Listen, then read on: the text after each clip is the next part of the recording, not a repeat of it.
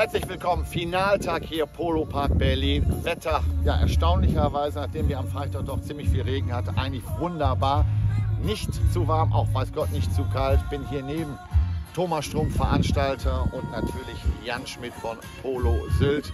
Erstmal nochmal Thomas, danke, dass ich auch dieses Jahr mit dabei sein durfte. sehr Dankeschön. Lieber Jan, wir, kommen, wir fangen mal mit dir an, lieber Jan. Du bist ja hier von Polo Sylt und hast dieses Jahr auch hier diesen Abschlussturnier der Saison 2021 ein ganz, ganz starkes Team ins Rennen geschickt. Dein Sohn und deine Tochter mit Thomas, der ja mitspielt, und Christopher Kirsch. Ihr seid im Finale.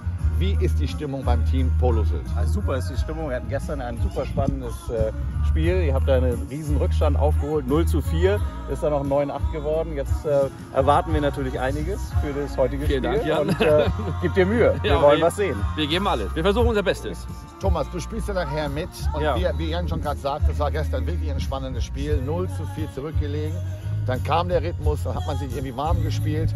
Äh, du hast eine kleine Verletzung. Kam das vom Spiel oder wo, wo kam die Verletzung her gestern? Es war der Helm. das war der Helm. Es war wirklich der Helm, der Helm auf die Nase und ein wenig geschützt. Mehr nicht. Nichts passiert, nichts Spannendes, alles gut. Gut, und was sind die Anweisungen für das Team heute? Wie, was ist die Strategie? Denn ihr habt es ja nicht unbedingt einfach. Ihr spielt gegen Tuki Kaiwano und der ist auch nicht von ungefähr, der weiß ja, worum es geht.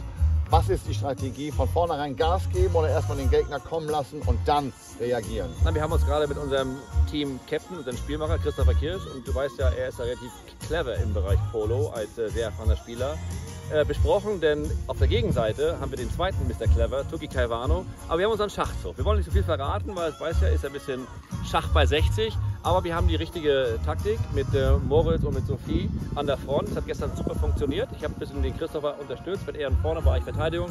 Und ich glaube, deshalb haben wir gestern 0 zu 4 zurückgelegen. Wir mussten uns kurz mal finden.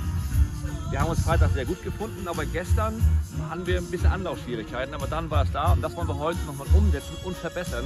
Denn sehr gerne würden wir auch heute den Sieg nach Hause fahren. Ja, wunderbar, da habt ihr es gehört. Direkt hier vom Spielmacher, Veranstalter und wie gesagt mit im Team.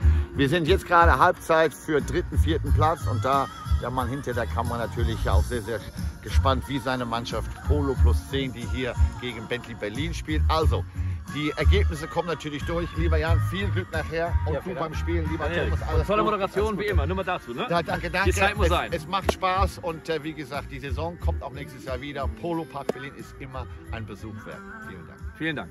Tschüss. Tschüss.